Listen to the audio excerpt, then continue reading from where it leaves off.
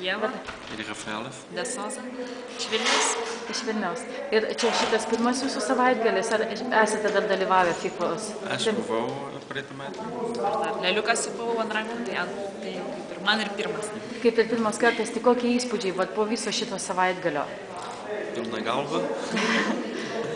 Kad tai yra kaip įrodymas, kad, kad reikia domėtis finansiniu raštingumu, reikia tobulėti ir valdyti savo gyvenimą, savo finansus. O su kokiais lūkesčiais jūs atėjote? Ko tikėjotės iš to savaitgalio?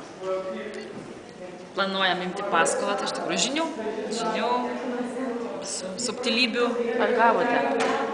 gavom, bet dar tiek pat daug klausimų ir liko. Pat ir liko. Nes iš tikrųjų, kuo daugiau žinai, tuo daugiau klausimų atsiranda. Taip?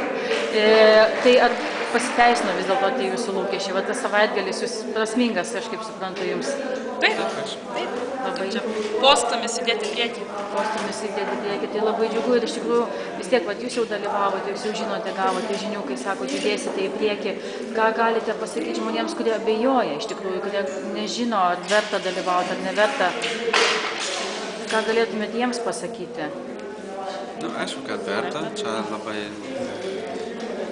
Stipri komanda, vieninga, ir kad tiesiog užtektų pradėti ir nuo knygos turbūt čia parekomenduotos Kiyosakio ar, ar kitų ir po to ateiti čia. Tai tiesiog kaip savo gyvenimą kurti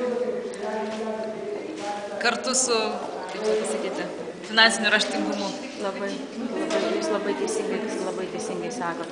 Tai gerai, ačiū.